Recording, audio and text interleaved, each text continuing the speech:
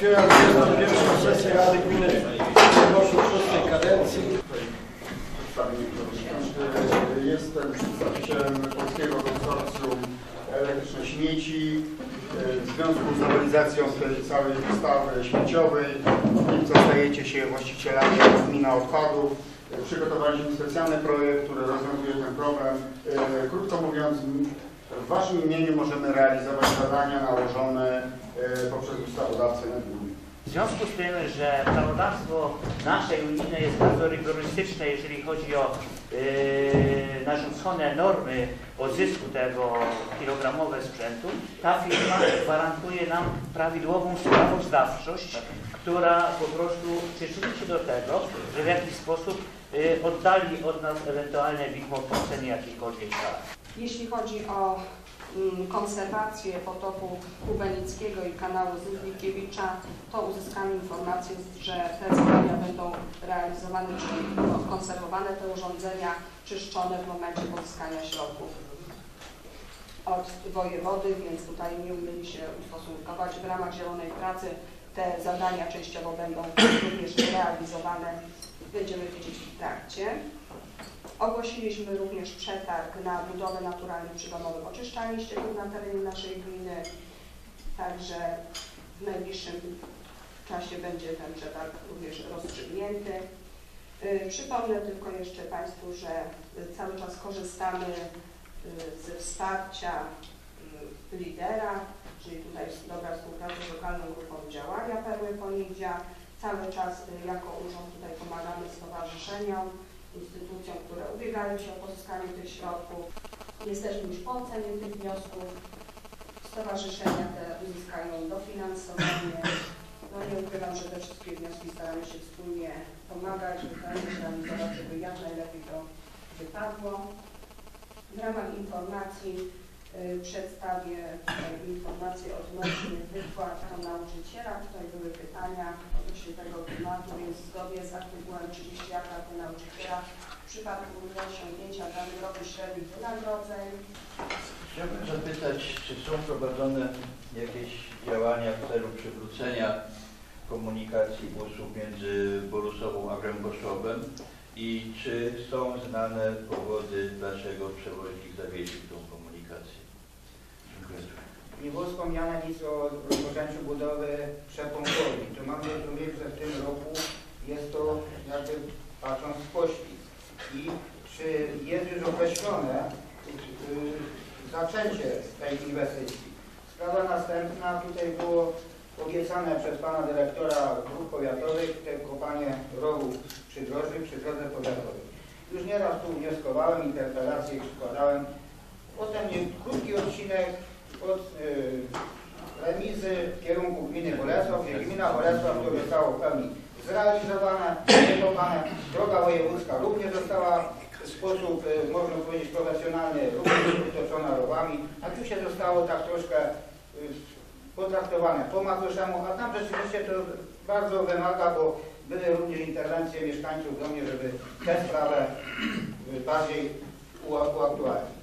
Z mojej strony dziękuję. Jak wiemy, tamtego roku gimnazjum z Woli Żydowskiej zostało przeniesione do Gręboszowa i wniosek nasuwa się taki, żeby koło y, obok y, pomnika Henry- Henryka Solarskiego został pomnik y, Stefanii Łąckiej, bo Słyszy się, że nadchodzi z powrotem budowa mostu, powraca i no to moja taka propozycja, patrząc na budowę mostu w Połańcu, wychodzi, jeżeli coś jest niezaprojektowane, wychodzi sporo różnych spraw podczas budowy.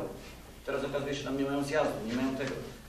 Spróbuję się przyglądnąć, proponuję przyglądnąć się uważnie tym planom, żebyśmy nie zostali podzieleni jeżeli przejdzie ta arteria przez nas, a to nie będzie takie małe przedsięwzięcie, jeżeli byśmy się mogli przedostać z jednej strony na drugą, bo, bo tak wygląda teraz w tej chwili tam w tym i widzę, że e, proszą się o rondo, nie ma zaprojektowanego tego wcześniej, nie da się doprojektować, kombinują. E, Wymyślili tam, że tam będzie przepust dla, dla zwierząt, ale zapomnieli o ludziach. Zostali tam na cyklu, ostrówek został odcięty. Dopiero szukają teraz znowu jakiegoś i kombinują. Chciałbym, żeby już zaprojektować wcześniej my jako gospodarze terenu powinniśmy w to wniknąć w te plany, jeżeli będą, jeżeli, jeżeli ta, ta, ta budowa ma powstać, żebyśmy po prostu nie podzieliła nas droga na dwie części. Dziękuję. żeby ten, na przejeździe tutaj Pucka-Słówko, jak ten szak był po prostu, to jest taki krótki odcinek, parę metrów, żeby to wyciąć ładnie i zależy asfaltem, bo jak się jedzie samochodem, to jednak to każdy o tym mówi. To nie- niedużo to będzie chyba kosztować, a to inaczej to będzie się jeździć.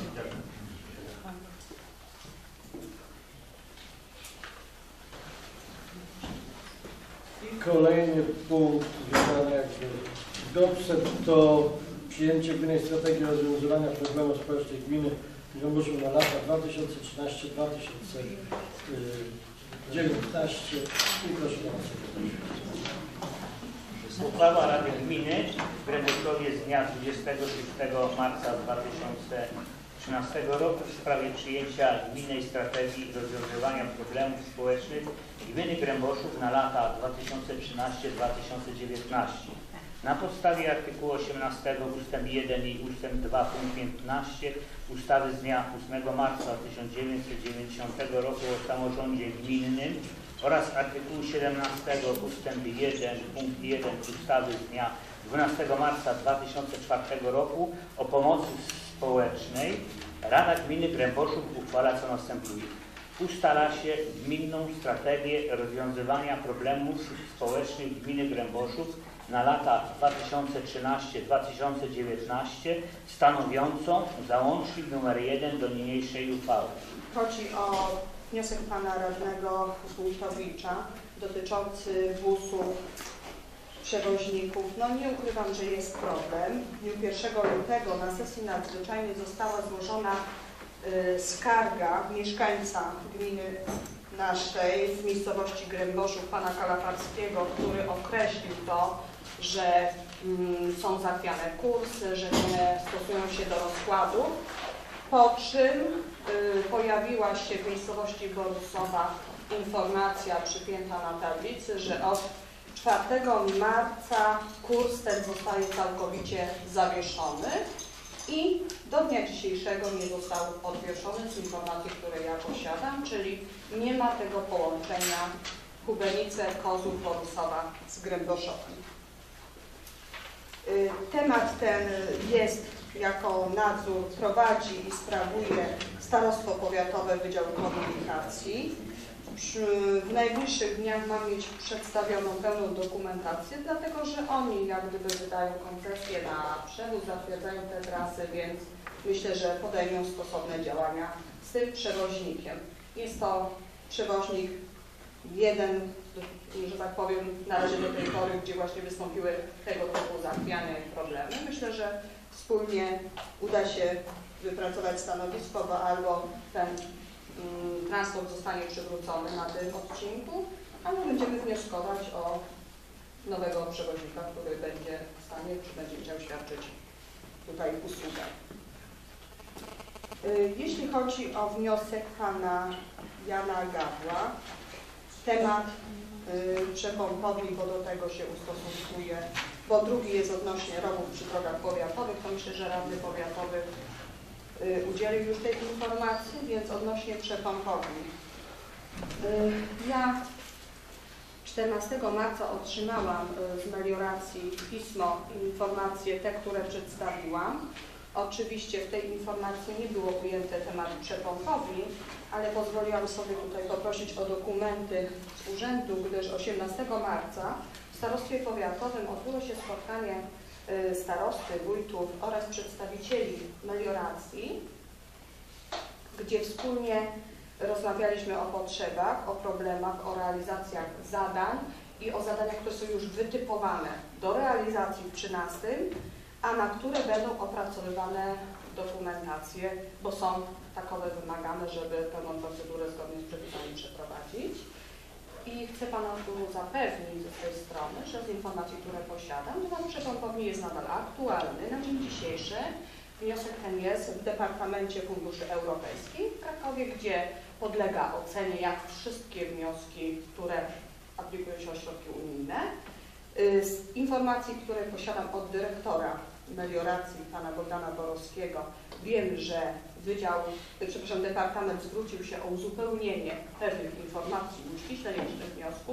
Zostały one zgodnie i w terminie uzupełnione i czekamy na decyzję o przyznaniu płatności. No nie ukrywam, że wszyscy jesteście świadomi, że to zadanie jest bardzo drogie, bardzo kosztowne. To jest w granicach, nie powiem dokładnie, bo nie mam akurat tej kwoty, ale to jest w granicach 20 milionów, więc moi drodzy, to jest bardzo poważne zadanie, ale nie jest ono jak gdyby wykreślone. Ja może ze swojej tutaj strony no, uznałam, że ono jest aktualne i idzie z marszu, jest realizowane, dlatego w swoim sprawozdaniu nie przedstawiłam tego tematu. Proszę Pan Misarz. Chciałbym prosić Panią Wójt, żeby zmobilizować wykonawcę mostu y, tu na tym kanale ubelickim od strony Woli Żelichowskiej, bo tam przy, przy budowie tego mostu zniknął rów y, przy tamtej następnej drodze, który odprowadzał y, wodę z pól. Bo ten most wyszedł praktycznie tam na, na wprost tego rowu i wykonawca obiecał ten, ten rów y, odbudować gdzieś tam bokiem, y, bo w tej chwili woda stoi na polach i, i, nie ma możliwości zejścia. Prosimy, żeby jak, w jak najszybszym terminie to zrobili, prowizorycznie. przy budowie Po prostu most wyszedł, wyszedł na wprost rowu, bo został poszerzony i pod tamtą stronę został zlikwidowany i, i, no jakoś, żeby to rozwiązać, żeby odciągało. Zbliżających się chciałbym wszystkim Państwu, Waszym rodzinom, yy, całe społeczeństwo złożyć w imieniu całego samorządu życzenia zdrowych, wesołych, trudnych świąt, wiosny, wiosny serca i wiosny